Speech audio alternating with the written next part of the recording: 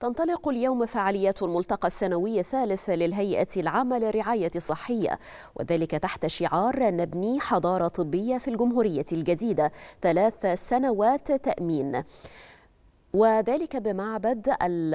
الكرنك في الأقصر. يأتي ذلك بالتزامن مع مرور ثلاث سنوات على تدشين الرئيس السيسي لمنظومة التأمين الصحي الشامل رسميا من محافظة بورسعيد في السادس والعشرين من نوفمبر من عام 2019 على هامش فعاليات الملتقى تم تنظيم ورش عمل ومحاضرات تدريبية لمقدمي الخدمة الصحية من أطباء الرعاية الصحية الأولية وأطباء الأورام والصيادلة والتمريض حيث تم تدريب أكثر من ألف شخص من الطواقم الطبية أونلاين عبر الإنترنت لمدة شهر كامل والتعرف على أحدث ما توصل إليه العلم والابتكارات في مجال الرعاية الصحية.